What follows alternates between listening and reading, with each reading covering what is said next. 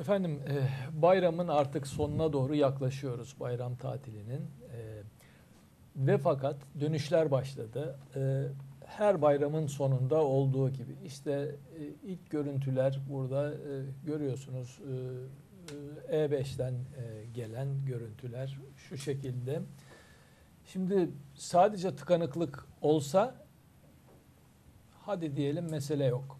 Ama e, efendim bugün şu saat itibariyle değil saat 6 7 8 o sular itibariyle 98 e, trafik terörü kurbanımız var. Her bayram olduğu gibi 98 kaybımız var. E, böyle giderse yüzü de aşacak, daha yukarılara gidecek. Mesele demek ki sadece duble yollar yapmakla olmuyor. E, demek ki aynı zamanda daha çağdaş e, sistemlere, toplu taşıma sistemlerine, demir yollarının doğru dürüst çalışmasına ve başka şeylere ihtiyacımız var. E, bunu burada e, geçerken söylemiş olalım. Söylemiş olalım ama bakın şimdi Atilla Yeşila Türkiye'nin önemli iktisatçılarından biridir. Eğer ilginizi çekerse muhalif bir ekonomistin güncesini okuyunuz efendim. Şu sebepten söylüyorum ki kendisi dünyayı da çok iyi tanır. bir yazı yazdı. yazının şeyi şu, para analizi de yazdı bunu. Efendim diyor ki siyasi İslam, arkadaşlar o kepsi gösterebilirlerse göstersin. Bir parantezli kapanıyor. Hani diyorlar ya Atatürkçülük 90 yıllık e, rejim işte reklam arası parantezli falan. reklam arasıydı kapanıyor. Hayır efendim öyle değil. Siyasal İslam bir parantezli gerçekten bu yazının içinde de onlarca örnekle gösteriyor. E, ispatlı ispatlı. Bütün dünyada o parantez kapanıyor. Ve Türkiye'de de kapanıyor.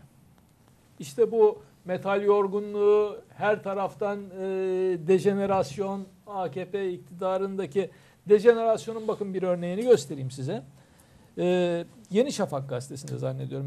Merve Şebnem e, Oruç yanlış hatırlamıyor isem. E, ne demiş? Ofisine bir Erdoğan, bir Abdülhamit Han tablosu asan ihalesini alıp yürüyor. Bakın onun yandaş yazar söylüyor. Yeni Şafak yazarı. Yeni Şafak yazarı söylüyor. Yani iki tane resmi koy, ihaleleri kap. Ee, Ali Şeker ne, ne, ne diyorsunuz bu ihale kapma yöntemine? Şimdi ee, AKP, ve bu neyi gösteriyor sizce? AKP'nin kendi içinde de bir çürüme olduğunun itirafları geliyor.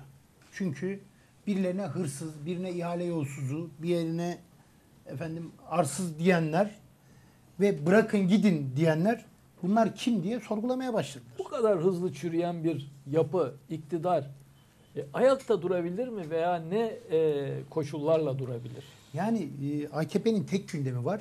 iktidarda kalmak. İktidarda kalmak için de yapmayacağı yok. Biz bunu 7 Haziran'dan sonra yaşadık. 7 Haziran'dan sonra bu ülke bir terör fırtınası yaşadı. Bu terör fırtınası da kendiliğinden değildi.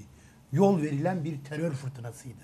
Suruçla başlayan, onun sonrasında iki polisin katledilmesiyle devam eden, sonrasında Ankara katliamı ve İstanbul'daki katliamlarla devam eden bir süreç. İktidar için yapmayacağı olmayan bir yapı var ve engel olmayan bir yapı var ve en son MIT o kadar çok bilgiye sahip ki Cumhurbaşkanlığına bağlandı. Yani o kadar bilgi, o kadar sır küpü ki artık başbakana değil, başbakana bilgi vermek değil ki başbakana bilgi vermemek anayasal düzeni ihlaldir. Yani hani daha önceden anayasal düzeni ihlal etmeye teşebbüsten insanlar idam edildi ya.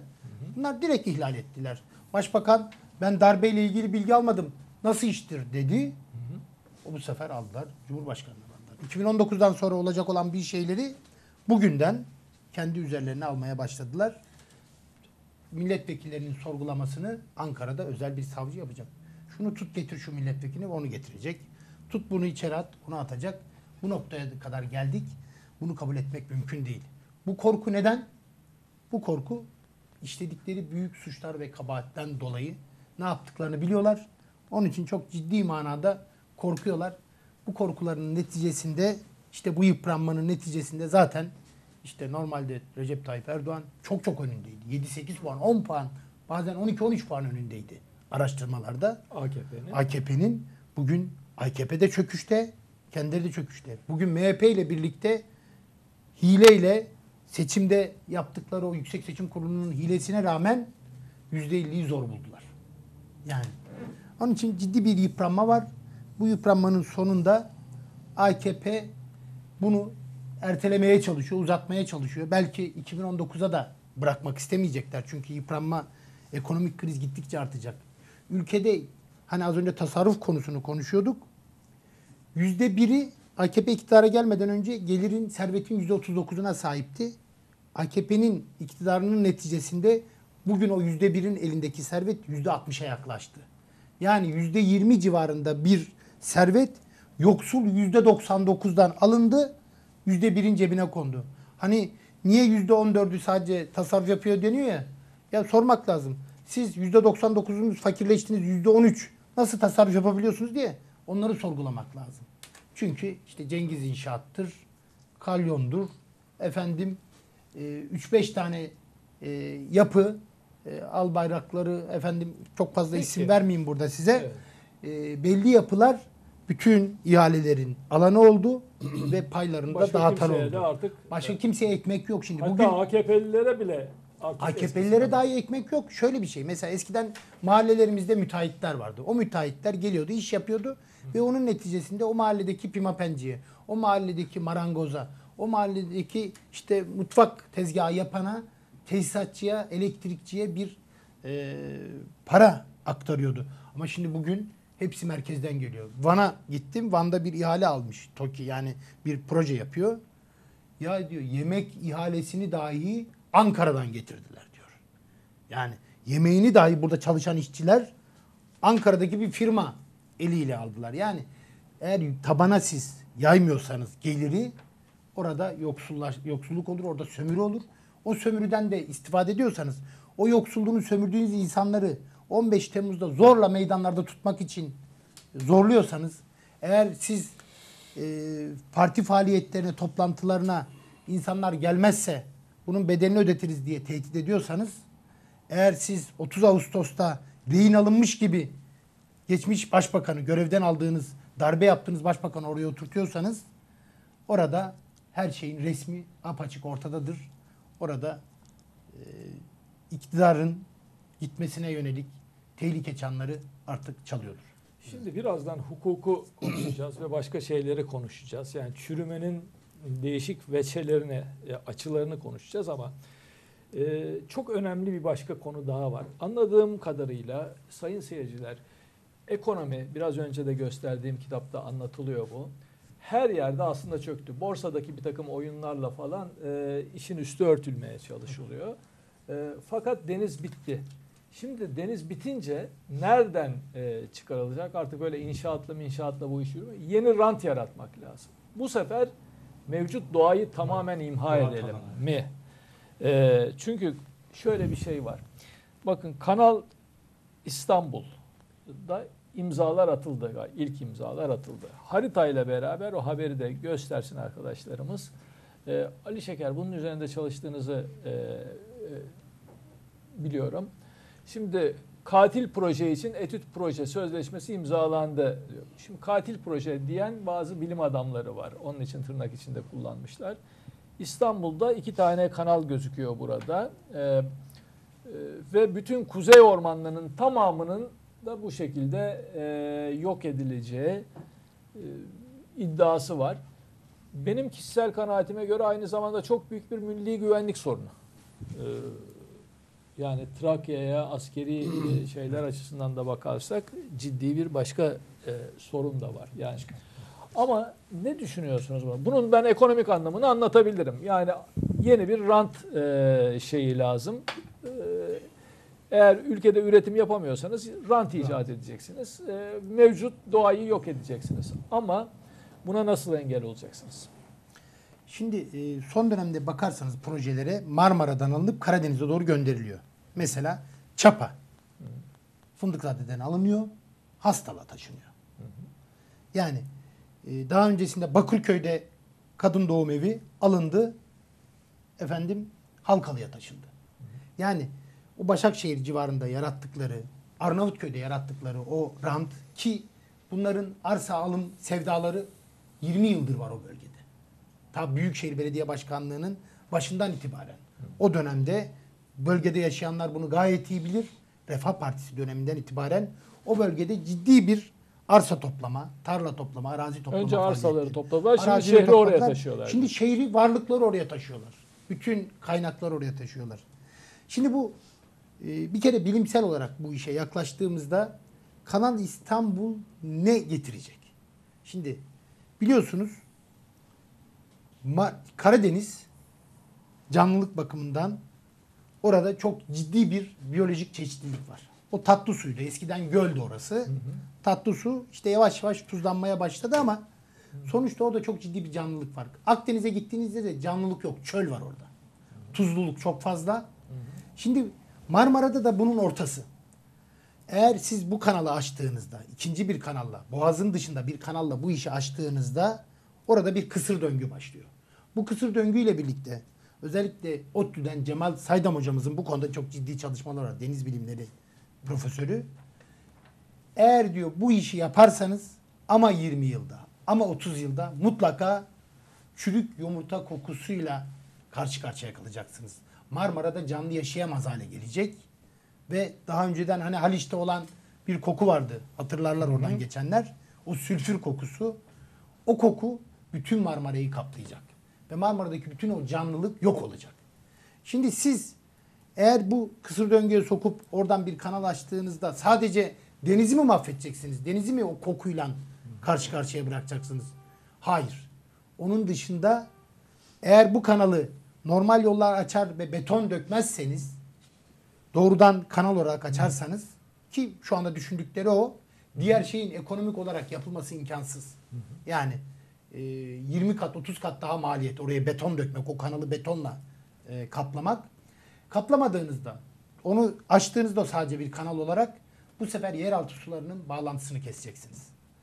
Hemen Durusu'nun yan tarafından bir kanal açtığınızda o Durusu'da su diye bir şey kalmayacak. Trakya'yı dinamitlemek gibi. bir Trakya'yı şey. dinamitlemek, İstanbul'u dinamitlemek. İstanbul'un en büyük suyu nereden geliyor? Durusu'dan geliyor, Terkos Gölü'nden. O göl tamamen suyunu kaybedecek. Kaybettiği gibi onun dışında bütün o Trakya'nın tarım alanları yeraltı suları tuzlanacak. Tuzlanınca ne olacak? Sayın Orhan Sarıbal burada ziraat mühendisi konuyu daha çok daha iyi biliyor. Çoraklaşıyor. Tamamen çoraklaşacak. Marmara'da yani Kaptan- Trakya kaptan aynı bölgesinde şeyi yaptılar kaptan. Kapta da benzeri oldu. Tamamen tuzlaşacak ve orada artık tarlalar verim alınmaz hale gelecek. Ne ayçiçeği, ne efendim soya, şey, e, kanola, ne buğday hiçbir şey üretilemez hale gelecek. Zaten bir yandan Ergene mahvoldu. Zehir akıyor. Bu arada İstanbul'un nüfusu da herhalde 30 milyona falan çıkar. 30 milyonu çıkacak. İstanbul'un tek ana su kaynağı yani Trakya bölgesinin özellikle su kaynağı Terkos tarafı olduğu gibi tuzlanacak. Şimdi burada bu insanlar ne yiyecek ne içecek? E boşuna çılgın proje demiyorlar. Hakikaten çılgın. Yani çıldırmak lazım bunu yapmak için. Yani şimdi siz tarımdan üretiminizi iptal edeceksiniz. O yeraltı sularının tuzlanmasından dolayı bütün tarımınız bitecek. Yiyecek bir şeyiniz olmayacak. O bir yandan da içecek suyunuz kalmayacak. Ali Şeker yalnız şunu sormaya çalışıyorum. Bakın e, hepimiz anlıyoruz AKP'nin bunu niye yaptığı. Elinde başka çare kalmadı. E, Şehir rantlarını yandaşa yerden- verecek. E, ekonomi her yönden çek, çökmüş ve çökmek üzere. Dolayısıyla yeni bir kaynak mevcut e, nasıl bir zamanlar bütün fabrikaları sattıysa şimdi bütün doğayı tahrip ederek bunu. E, ama bunun sonucu şu oluyor demek ki. Yani AKP belki günün birinde gidecek ama gidene kadar da e, ülkenin ne doğasını bırakacak, ne suyunu bırakacak, ne havasını bırakacak. Ne geleceğini bırakacak. Buna buna siz e, ne yapacaksınız? Yani asıl mesele bu. Şimdi biz buna itiraz ediyoruz. Türkiye'nin gerçekten geleceği yok ediliyor. Geçmişteki birikimleri yok edildi. O Cumhuriyet dönemindeki bütün kazanımlar, fabrikalar, araziler bütün talan edildi. Ve talan ederken hakaret edildi. Şimdi geleceği satılıyor. Yani kuzey ormanları yok ediliyor. Şimdi o korunan, o gözümüz gibi bakılan alanlar birer rant kaynağı olarak imara açılıp şehrin işte İstanbul nedir? Türkiye'nin rant merkezi. Bu rant merkezindeki yaptıkları nedir? İmar düzenlemeleri üzerinden yandaşa peşkeş çekme. Halbuki bu şehrin rantları Bu halk için kullanılmalı. Bu halka paylaştırılmalı. Ama bunların derdine kendi yandaşlarını beslemek ve iktidarlarını sonsuz kılmak gibi bir düşünceleri var. Şimdi bunu yapmak için de ne halkın geleceğini düşünüyorlar. Tek düşündükleri var. Kendi iktidarları. Onun için de bu projelerin bir an önce geri çekilmesi gerekiyor ve bunun halkın bu konuda bilgilendirilmesi gerekiyor. Yani mega projelerle ilgili işte biz havalarına karşı mıyız? Biz yeni bir havaalanının doğayla barışık bir şekilde ormanları tahrip etmeden yapılmasına tabii ki onay veriyoruz. Ama siz hiçbir ağaç kesmeden yapılacak bir Silivri Gazitepe'de yer varken oranın yerine gidip o ormanları keserseniz biz ona itiraz ediyoruz. Evet. Peki. Ee, Belki belki şöyle yapmak lazım. Yani şimdi bütün bunları aslında değerlendirebilmenin ve başka bir şey söyleyebilmenin temel kriteri bence ya AKP dışında başka bir alternatifin olduğunu bu ülkenin görmesi lazım. Bir üreten Bu bir ekonomi gö- gerekiyor. Bakın şimdi Üreten bunu- ekonomi. bunu bakın şöyle bir şey olmadığı sürece yani Türkiye AKP'den ibaret değil kardeşim. Türkiye AKP'ye rağmen başka bir alternatif yaratıyor çıkartamazsak ortaya siyasal İslam parantezi de kolay kapanmaz. Bunların varlığı da devam eder. Tarif etmeye devam ederler. Çünkü gelinen aşamada şöyle bir durum var. Siz alternatif olamadığınız sürece, farklı projeleri söyleyemediğiniz sürece, mevcutu eleştirerek... Nasıl alternatif Şu olmalı bu mesela olayda? Çok, çok net mesela. Bu olayda da dahil ben ben olsam yapacağım şey şu. Bu işle ilgili uzmanları Cumhuriyet Halk Partisi olarak çağırırım. Kameraları da çağırırım. Proje bu değildir. Olması gereken budur diye bu işin asıl sahiplerini konuştururum. Asıl sahipleri kimdir? Ya bu ülkede bu konuda konuşabilecek, konuşabilecek çok fazla sayıda hele hele bu kanun hükmündeki kararnameler de düşünüldüğünde son derece değerli toplu konuşabilecek ve alternatif sunabilecek e, akademisyenlerin olduğundan eminim. Yani bu bu, bu tekil olayları çünkü tartışmaya başladığımızda şöyle bir Çanakkale'de yaptık biz bunu. Çok güzel. Taraflar Türkiye'nin sorunlarını nasıl çözerizi masaya yatırdık, konuştuk ve çözüm ürettik. Bu çok önemli. Tam da- Türkiye'nin sorunlarını konuştuk. Tam da tam da yapılması gereken böyle bir şey. Çünkü ben de insan hani metal yorgunluğundan bahsediliyor ya insanların artık şundan yorulduğu kanaatindeyim. Yalnızca AKP eleştirileri üzerine kurgulanan bir işten insanların yorulduğu kanaatteyim. Kesinlikle. Bu nedenle de bir alternatifin oluşturulması lazım. Bakın demin söylediğimiz şeyde. Şimdi diyelim ki eğitim. Ya adam diyor ki dünya düzdür. Yani Galile'nin kemikleri şey kemikleri sızlamıştır herhalde. Şimdi yani, e, bunlar bunu hissedebilir mi hissedemez. Bunu bizim hissettirmemiz lazım. Eğitimle ilgili. Ya çok net. Şimdi siz yani her alan böyle. Böyle Sistem çürümüş. Bakın nereye elimizi atsak elimizde kalıyor. Eğitim elinde kalıyor. Hukuk elinde kalıyor. Tarım. Tarım elinde Sağlık. kalıyor. Sağlık elinde kalıyor. Sağlıkla ilgili çok övünüyorlardı. El, turizm nereye elini atarsan el- yerinde kalıyor. Ama şöyle bir şeyin Sanayi. olması lazım. Bakın siyasal İslam'ı tartıştığımızda en önemli şey şu. Siyasal İslam dün hayal yaratabiliyordu. Olabileceğini düşündürtüyordu. Bakın bundan 3-4 yıl önce Or- Orta Doğu'da bir seçim yapılmış olsa kim başkan olmalıdır diye Erdoğan çıkarttı. Bakın çıkarttı. Esad direnmeseydi Böyle bir hava- değiş- böyle bir hava vardı. sanal bir Bakın, ortam Böyle bir yaratıyor. şey vardı. Niye? Çünkü uluslararası güçler de böyle bir şey istediler. Ya bu bölgeyi kontrol edebilecek bir güç Eş istediler. başkan istediler. Tabii şimdi Fethullah Gülen tesadüf değil ki dünyanın 160 ülkesinde okul açmak uluslararası istihbarat örgütleri ve uluslararası güçler olmadan olmaz. Yani yalnızca Türkiye ile ilgili bir iç mesele değil. Yani bütün uluslararası güçleri E düşündüğümüzde biraz sonra biraz sonra mesela Fethullah Gülen e, ile ilişkisi dolayısıyla e, yani o iddiayla Enver Altaylı denilen bir eski MİT mensubu e, tutuklu şu anda. Onu Türkiye'deki kontrgerilla ilişkileriyle birlikte konuşmak lazım belki. Şimdi bunu şundan dolayı söyledim ben. Yani resmin görülmesi açısından. Şimdi böylesine bir şeyde bir alternatif yarattılar ve siyasal İslamcılar yarın hayali kurdurabiliyorlardı. Niye? Çünkü sosyal sistemde çökmüştü. Dünya tekleşmişti. Tekleşen sistemin karşısında bir başka sistem olabilir diye düşünüyorlardı. Şimdi bu dönem bitti bakın. Biten bu. Bittiği için de Zaten e, siyasal İslam'ın parantezinin bitmesinden kastedilen Tabii bu. O hayal biliyorum. bitti Ben yani. o, bu hayal bitti. Zaten siyasetin temel kriteri şu. Bizim de öyle bakmamız lazım. Siz hayal yaratabiliyorsanız varsın. Yani şimdi bizi izleyen izleyici ya evet ya bunlar konuya hakim. Bunlardan bir şey olur diye düşünüyorsa anlamı var. Yani bu siyasi partiler açısından da böyle. Siyasal İslam'ın bu anlamıyla parantezin kapanmasına itirazım yok temel olarak. Şimdi burada bunun tersini yapabilecek bir şeye ihtiyaç var. Bakın eğitimde, şimdi eğitimi konuşuyoruz. Yalnızca AKP'li bu gençlik kolu başkanını eleştirmek, eleştirmek yetmiyor. Senin şunu söylemen lazım. Kardeşim bu ülkenin en önemli okulları Pertemniye Lisesi'ydi. Vefa Lisesi'ydi. İstanbul Atatürk Lisesi'ydi. İşte e, e, Atatürk Erkek Lisesi'ydi. Kabataş Lisesi'ydi. Ben kamucu eğitimi yeniden ben kuracağım diyebilmen lazım. Şimdi bunu diyemediğin sürece şöyle oluyor. Mevcutu eleştirme üzerine bir şey kuruyorsun. Yani mesela bu ülkede okullar 18 Nisan 18 Eylül'de açılıyor. Ya 17 Nisan'da ya bu ülkede insanların gerçekten hop ne oluyor diye sokağa çıkması lazım. Kartal'da bir miting var 17 Nisan'da. Bu mitingin desteklenmesi lazım ama yalnızca mitingle olabilecek bir şey değil. Şöyle bir şey olması lazım. Mesela bu ülkede özelleştirmeler, imam hatipleri, öğrenci aralıkları doğru. Özelleştirmelerin karşısında ben kamucu okulları istiyorum diye çıkması lazım bir takım insanların. Bakın demin köy enstitüleri lafı geçti. Bu ülkede eğer tasarrufsa, eğer eğitimse, eğer gerçekten bu ülkede insanların çok yönlü gelişimi ise köy enstitüleri bir modeldir. Bizim şöyle dememiz lazım.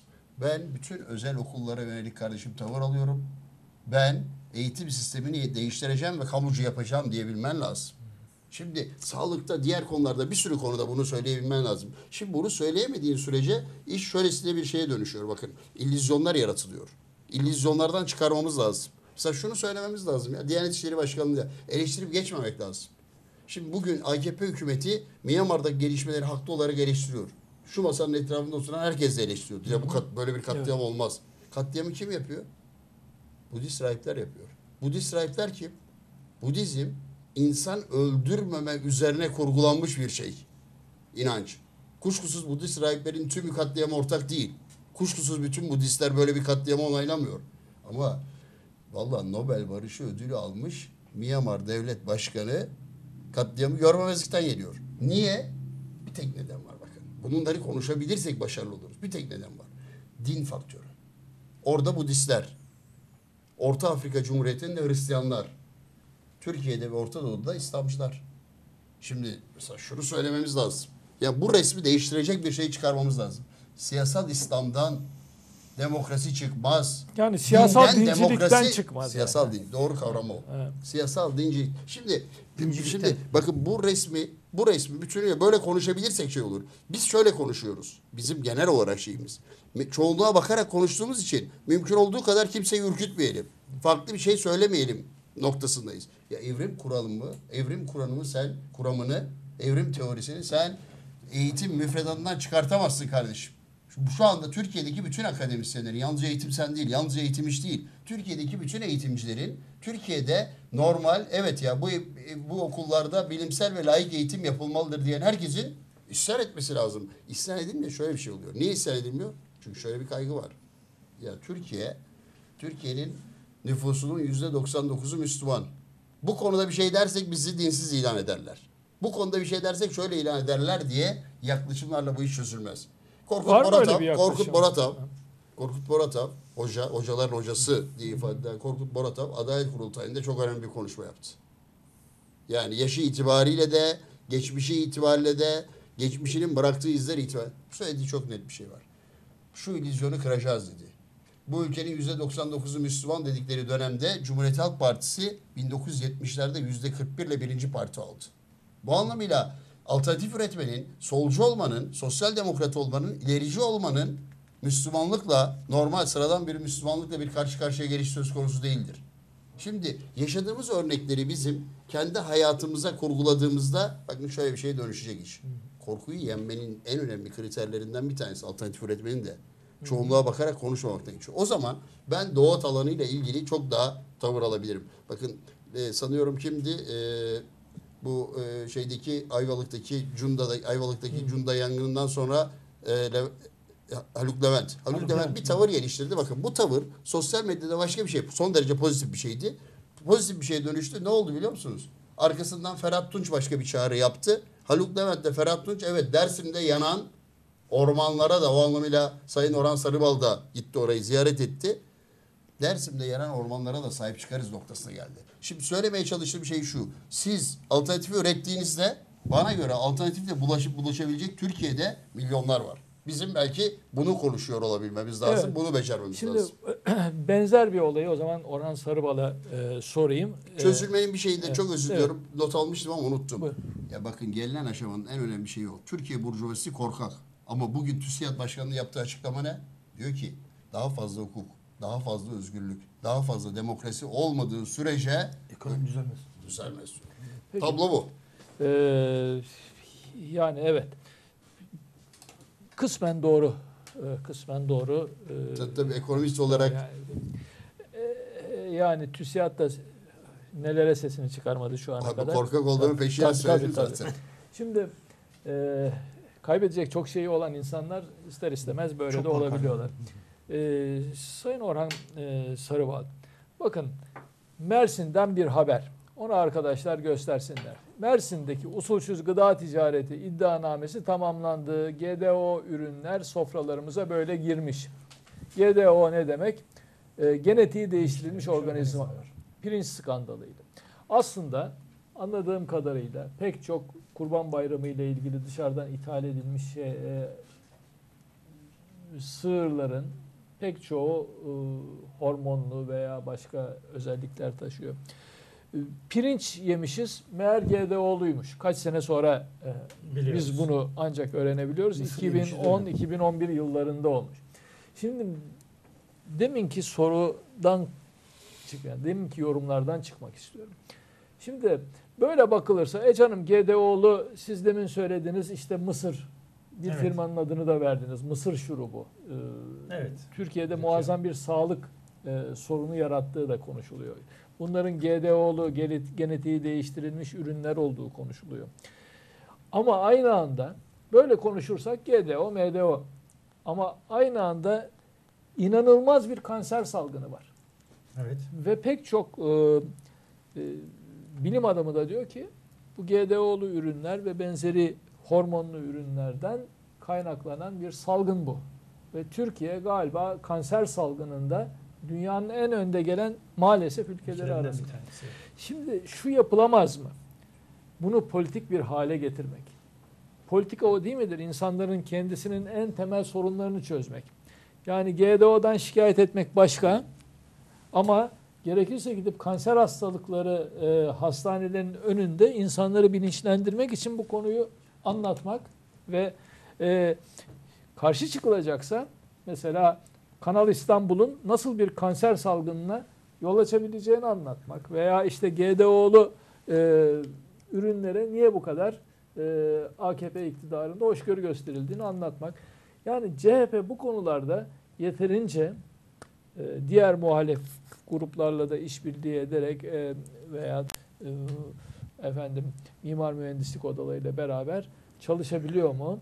E, meseleyi insanların kişisel meselesi haline getirebiliyor mu? Yani politika e, böyle mi yapılmalı? Politikacı değilim ama e, burada ne yapıyorsunuz? şöyle ben TUMOP kökenliyim. Hı hı. Geçmişten bugüne kadar GDO meselesini Kargil kurulmadan önce de gündeme getirmiştik. Hatta öyle enteresan bir şey ki Türkiye'nin bir e, biyogüvenlik yasası yoktu. Yine bu siyasal iktidar biyogüvenlik yasası yokken genelgeye çıkarıyordu ve yönetmelik hazırlamıştı enteresan bir şekilde. Hakikaten gördük ki milyonlarca ton GDO'lu ürün bu topraklara girmiş. Genetiği değiştirilmiş. Genetiği değiştirilmiş. Genetiği değiştirilmiş organizma ne demek? Bir canlıdan diğer bir canlıya özel bir geni aktarıyorsunuz. Yani Evet. örneğin balıktan bir gen alıyorsunuz.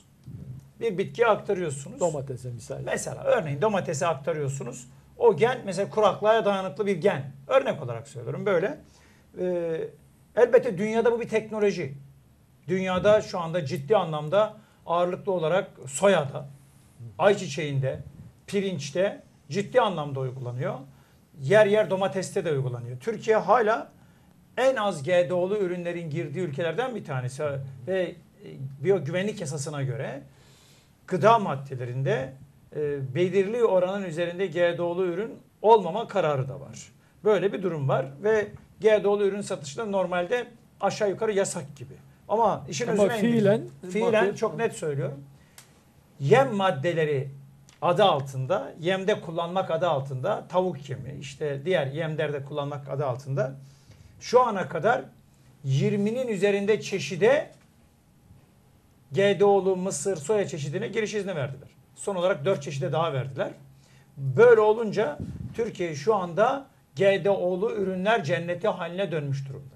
Ve bunu çok net bir şekilde gündeme getirmek lazım. yem ürünlerinde kullanılan mısır, yemde kullanılan soya, yemde kullanılan ayçiçeğinin tümünde aşağı yukarı ne yazık ki GDO görüyoruz. İthal gelenlerin tümü öyle bir defa. Yani Böylece bütün yediğimiz hayvanlar da hakeza, Elbette yani zaten e, sorun tam da bu. Siyasal iktidar bunu öyle bir anlatıyor ki ya yemlerde var ama gıdalarda yok. Ya şimdi bu GDO dediğimiz enteresan genetiği mutant gen dediğimiz gen değişimleri vardır, gen etkileri vardır. 20 yıl, 30 yıl bu genden etkilenmezsiniz. Ama 20 yıl, 30 yıl sonra karşınıza nasıl bir rahatsızlık vereceğini kimse bilemez. Çünkü o DNA sarmalı içerisine yerleştiriyorsunuz bunu. O sarmalda ne zaman nasıl bir etki göstereceğini kimse bilmez. Ama dünyada bilim insanlarının kesin olarak elde ettikleri bilimsel çalışmalar var. Kobaylar üzerinde, fareler üzerinde yaptıkları çalışmalarda GDO'lu ürünler alerjik hastalıklar, kansere neden olmuş bir sürü net bilimsel verileri var. Tabi bu konuda bilim insanları ikiye ayrılıyor. GDO'lu ürünlerin zararını kesin zararlıdır diyenler var. Bir grup bilim insanı da hayır kesinlikle zararlı değildir diyenler var ama işin özü şudur. Kesinlikle bunun tarihsel bir birikimi olduğunu görmek lazım. Yani bir anda bunun sonucunu göremeyiz. Bu ciddi araştırmalar gerektiriyor. İkinci en önemli konu da bu. Türkiye için önemli olan şudur. Türkiye toprakları, Türkiye tarımı, Türkiye zenginliği bu ülkeye GDO'lu ürün girmesi için bir gerekçe var mıdır yok mudur? Yoktur. Türkiye'nin toprakları şu anda 200-250 milyon insanı doyurabilecek stratejik ürün üretmeye uygun. 200-250 milyon. Yani bugün 80 milyon, Üç katı, 2050 dört katı. yılında 90 milyon insanın karnını doyurmayı bırakın.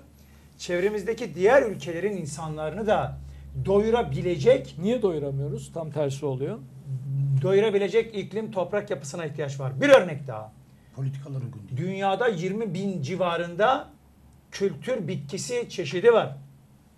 Türkiye'de 13-14 bin, 14 bini var ve bunun 3500-4000 bini bu toprakların endemik bitkisi. Bu ne demek? Türkiye topraklarında yetişen dünyanın başka ülkelerinde yetişmeyen bitki çeşitleri demek. Yani Türkiye hem biyoçeşitlilik açısından Aynı zamanda toprağı, iklimi, iş gücü, bilim insanı, çiftçisi, üreticisi açısından GDO'lu hiçbir ürünün bu toprağa girmesine gerek duymayacak yeterli özgül koşullarına sahip toprağına, bilimine, teknolojisine sahip. Peki niye? Nedeni şu. Yani niye mercimeği, nohutu falan Kanada'dan almaya Çok başladık? açık, çok açık. Çiftçinizi siz yoksullaştırıyorsunuz. Bu ülkenin çiftçisi yoksullaştı. 1980'den sonra başlayan, hatırlayınız özel dönemiyle beraber gündeme gelen Türkiye tarımı hükümetlerin sırtına kamburdur.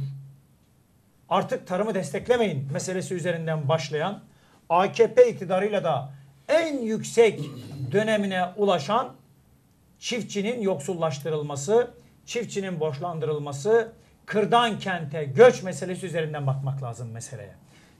Dünyanın en pahalı mazotunu kim kullanıyor? Bu çiftçi kullanıyor. Dünyanın en pahalı gübresini kim kullanıyor? Bu çiftçi kullanıyor. Dünyanın en pahalı ilacını kim kullanıyor? Bu çiftçi kullanıyor. Peki bu çiftçiye destek var mı?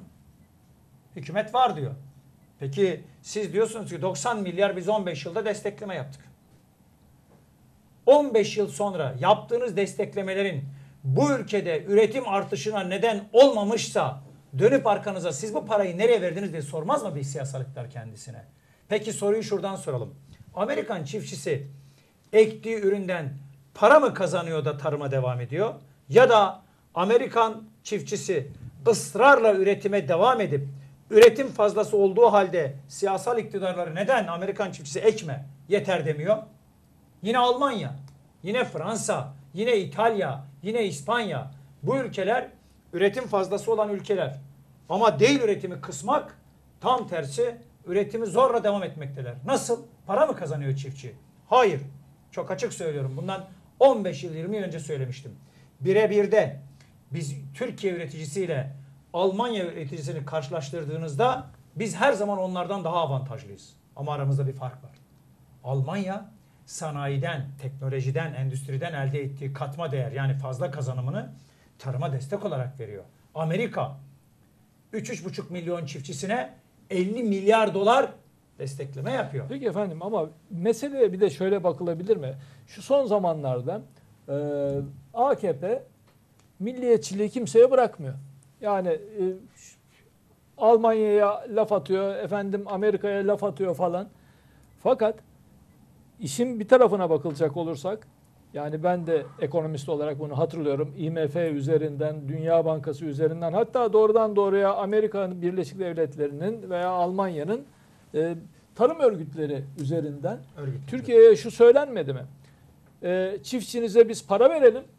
Siz de onların ekimini yasaklayın. Evet. Doğru. Ve Türkiye'de tarım bu şekilde yasaklanarak bitirilmedi mi? Kötürüm haline geldi. Şimdi dolayısıyla bir taraftan emperyalistlerin Türkiye'deki tarımı yok edin talimatına sonuna kadar uyup sonra da geriye dönüp ben çok milliyetçiyim e, denmesini e, politikacılar anlatmak zorunda değil mi? Bunu Elbette. niçin yeterince e, anlatamıyoruz, e, anlatamıyorlar, anlatamıyorsunuz ya da anlatıyor musunuz? Evet şu anda şunu söyleyeyim. Ciddi anlamda anlatıyoruz. Yetiyor mu? Yetmiyor. Ama yaşanan bir gerçeği siz de söylediniz. Avrupa Birliği meselesi, IMF, Dünya Bankası, Dünya Ticaret Örgütü, bütün bu kurumlar Türkiye her ekonomik sıkıntı yaşadığında önlerine iyi niyet mektuplarını koyduklarında Türkiye bir ev verdiler. Siz dediler tarıma destek vermeyeceksiniz dediler. Son Avrupa Birliği hikayesi var biliyorsunuz çok daha iyi biliyorsunuz. 150 bin sayfalık müktesebatın 75 bin sayfası tarımla ilgili. Ve Avrupa Birliği şunu dedi. Benimle dört üründe rekabet edebilirsiniz. Eğer bizim grubumuza girmek istiyorsanız. Fındık, yaş meyve sebze, küçükbaş hayvancılık ve bakliyat.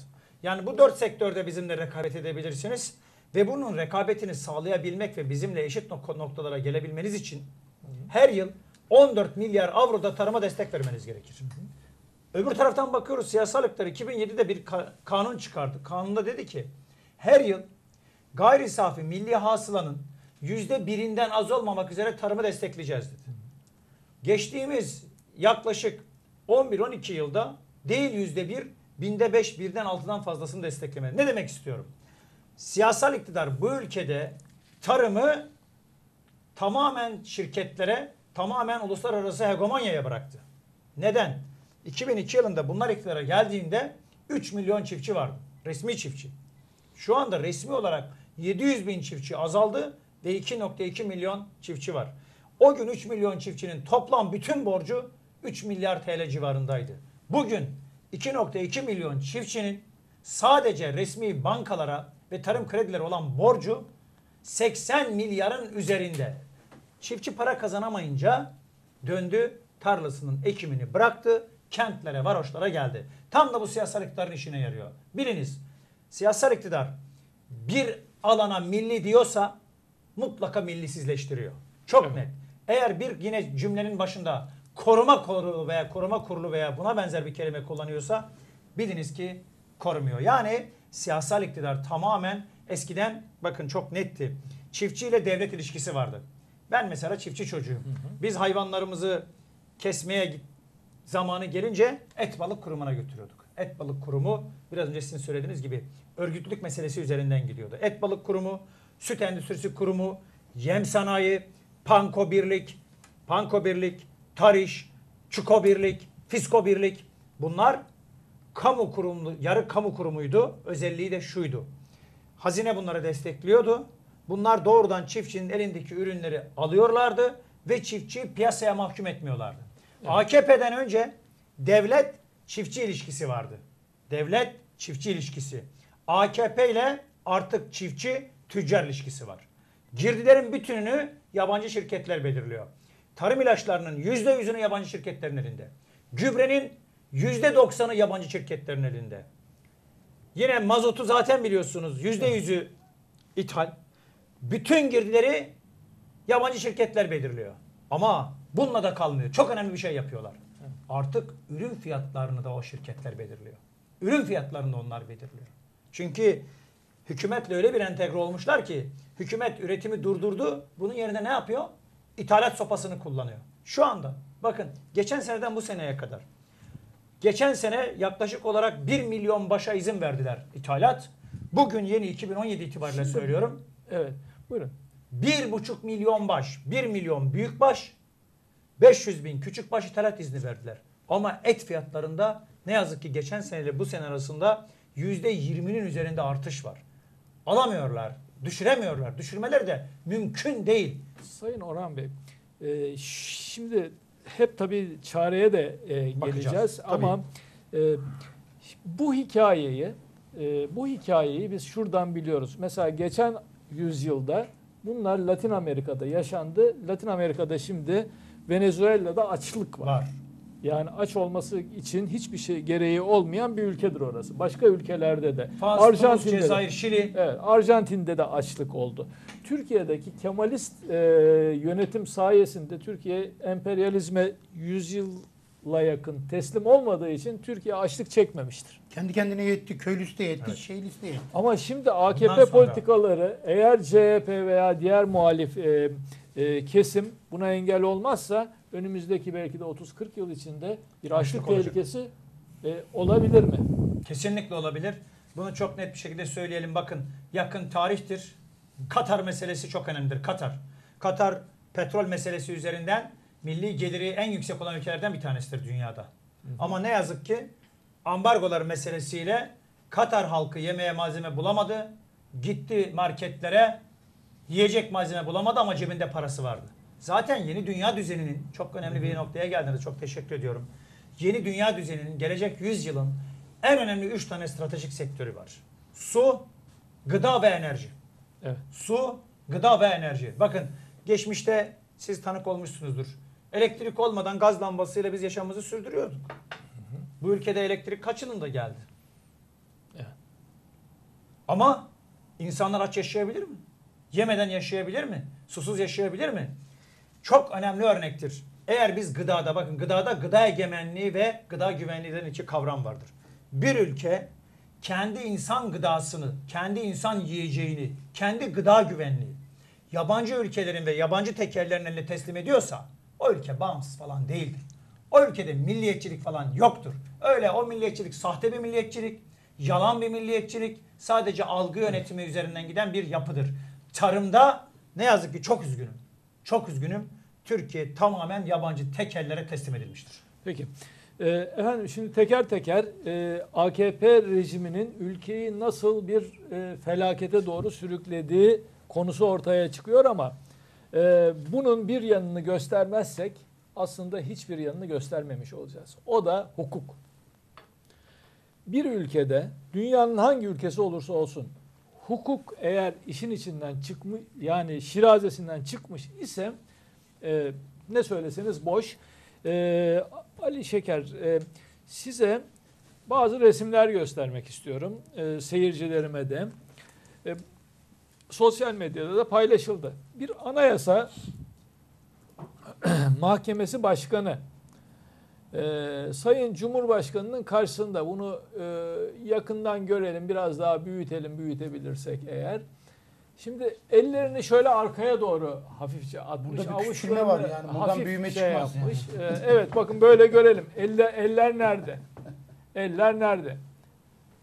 E, Aksünger'de şöyle e, Erdal Aksünger'de bir tweet atmış. Demiş ki AKP döneminde dünya düz hukuk yamuk görüldüğü üzere diye. Uğraşsanız da büyümez bu küçülme var burada yani. Şimdi bir bu.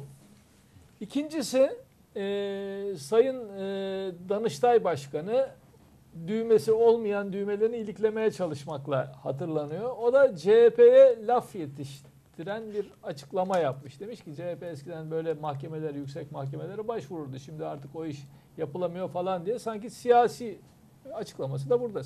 Sanki kendisi siyasi parti e, lideri. E, arkasından bir de bu. Bir şey daha göstereceğim. Bunları tartışalım tekrar e, son bölümde. E, Hulusi Akar ve eşi. Hulusi Akar ve eşi ve yanında e, diğer devlet büyükleri bakın böyle kıyafeti için bir şey söylemek istemiyorum Hulusi Akar'ın eşinin. Fakat bunu e, daha geniş alalım arkadaşlar. Orada bir şey göreceksiniz. 15 Nisan, e, 15 Temmuz özür dilerim e, günü çok dramatik olayların yaşandığı köprü. Şimdi adı da değiştirildi. 15 Temmuz Şehitler Köprüsü oldu. Pasta yapmışlar, yiyecekler. 15 Temmuz şehitler tabağı. Yani bu fotoğrafta sizce kaç yanlış var? Hani öyle şeyler vardır ya bu resimdeki yanlışları bulunuz diye. Burada doğru bir şey var mı diye sorsak daha kolay. Evet, doğru bir şey yok. Evet, Birinci yanlış. Yani inanamıyorum ben buna. Şehitler Ee, Köprüsü. Yani pastanın önünde dua etmek ikinci e, bir tuhaflık. E, biraz önce o dramatik olayların yaşandığı şeyi yemeye kalkmak. Gerçi daha önce Biz, biz on- 16 Kabe'yi Temmuz, yemeye 16 kalkmışlardı. Temmuz'da rehineliğin son bulduğunu düşünüyorduk Akar ve diğerlerinin ama hala rehinelik devam ediyor gibi bir görüntü var burada yani. O kıyafet de bir enteresan yani. Yok e, korku var, hepsinde endişe var. Hepsi rehin gibi duruyor orada yani. Yani mesela türban desek değil, başörtü ne, Değil. ne, ne- onu da sayın yani e, Çok dramatik ya. Yok Bayan yüzdeki ifadeler çok ürkütücü. Ürkütücü. Yani korku mu var orada diyorsunuz? ür- ürkmüş hepsi yani bir rehine operasyonu Bir rahatsızlık var ama. Yani ülke rehin alındı. Bir rahatsızlık Hakikaten rehin alındı ve bu rehin almanın resmi.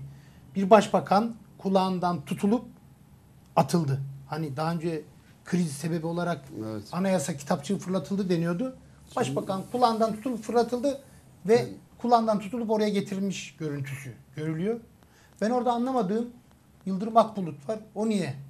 Yıldırım- Orada orada Yıldırım Gör- Akbulut gör- da köşedeki Yıldırım Akbulut değil midir orada? Bilemiyorum, göremedim onu. Eski başbakanlardan. O niye rehin ben onu anlayamadım. E, Siz bunları bir rehinlik ilişkisi olarak e, yorumladınız ama hakikaten de hani resimler bir enteresan. Peki o hukuktaki şu duruş hakkında ne düşünüyorsunuz? Yani siz senelerin e, siyasetçisiniz. E, bürokraside bu şekilde bir duruş var mıdır?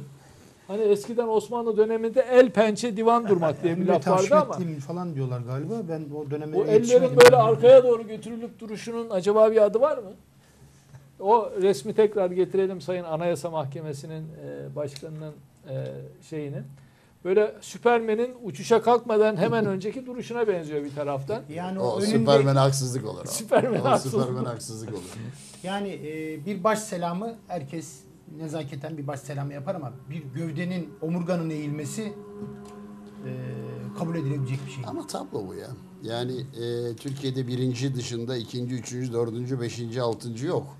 Bir Olmayınca Yani öyle Ama Anayasa Mahkemesi'nin bir adım üyelerini fiziksel içeriden görüntüsü atılıyorsa, gibi bu. içeri Evet. atılıyorsa Biatın fiziksel, Biatın- net- fiziksel Fotoğrafı. tezahürü Evet. deyim yerindeyse. Efendim tabii Türkiye'deki hukukun geldiği yerin resmidir bu. Evet, Aslında tabii. hukukun bittiğinin de Tabii, resmidir tabii, tabii. diye yorumlayanlar var. Efendim reklama girmek zorundayız. Şimdi Türkiye'nin çerçevesini çizdik. Bu bu sistem böyle gitmez. Herkes eee, bu konu üzerinde. uzun koktuğunun Evet, resmidir. evet. Ama nasıl buradan çıkış olacak? İşte onu da şimdi konuşmamız lazım. Neyi yapıyoruz, neyi yapmıyoruz? Adalet Kurultayı'nda neler oldu? Bir sonraki hamleler neler olacak? 2019'a e, muhalefet hangi adımları atacak? Onu konuşacağız son bölümde.